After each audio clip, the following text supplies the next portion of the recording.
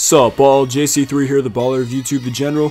Welcome to Topic Tackle. My take for today is on why Kobe left Adidas for Nike and in doing so, an iconic symbol in partnership with the company with the swoosh was made. I want to first thank y'all for the love you've been showing on the community tab. I'm glad YouTube made that feature available to more creators. It's a great way to stay connected even when a video isn't going up. But for the videos that have gone up, check them out. The last couple of ones got a player analysis on James Harden and much, much more.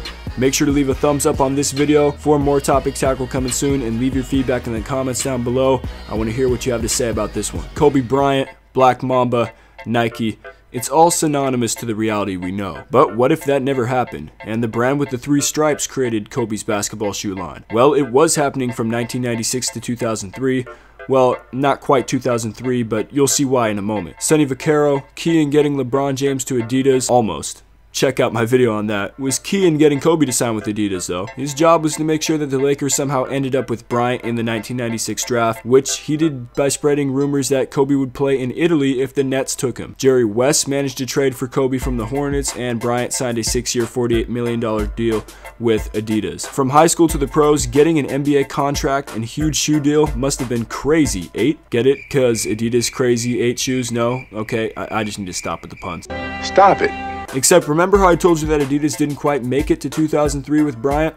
Well, that happened because they quite simply failed big time with the Kobe 2. Their intentions might have been good, I mean, they were implementing futuristic styles that are now thriving in today's market, like the Kobe, now known as the Crazy One. It's a lifestyle shoe now, inspired by Kobe's first Adidas silhouette. But back in 2000 2001, the Kobe 2 just crossed the line. It was made in collaboration with Audi and inspired by the German car maker's TT sports car and is now known as one of the worst bricks in footwear history, as no one wanted to buy them, and they ended up in Adidas outlets months after release. According to GQ.com, it's not fair to say that the Kobe 2 caused Kobe Bryant to jump ship at Adidas in favor of the swoosh, but in 2001 it was rumored that even he thought they were ugly and horrible, which caused them to switch back to the slightly better Kobe 1 during the NBA Finals that year. I think the craziest part about this whole story is that Bryant reportedly paid $8 million after the summer of 2002 to get out of his Adidas contract, but had to wait until 2003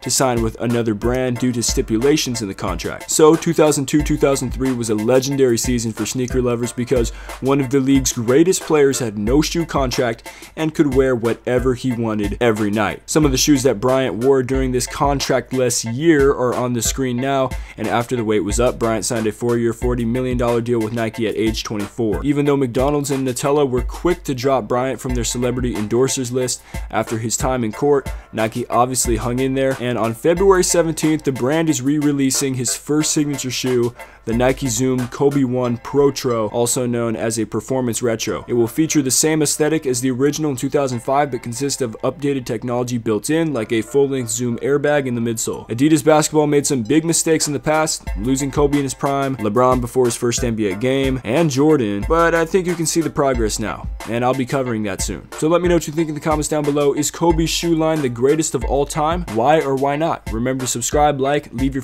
feedback in the comments down below. We'll be back with more topic tackle soon. JC3 out.